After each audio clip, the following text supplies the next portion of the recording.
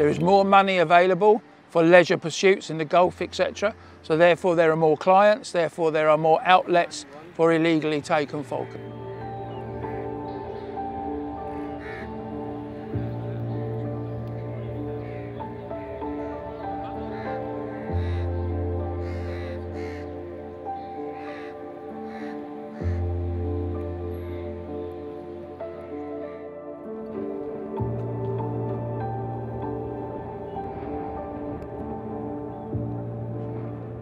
ये बेरी नस्ल था ये हमने एक हफ़्ते में पकड़ा है।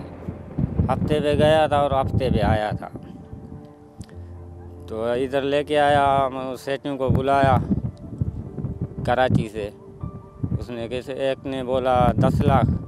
दूसरे ने बोला, तेरह lakh.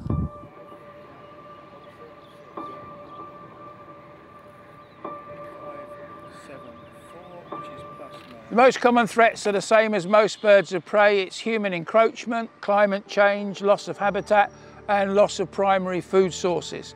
Actual direct persecution, i.e. shooting or uh, rob nest robbing is very, very little.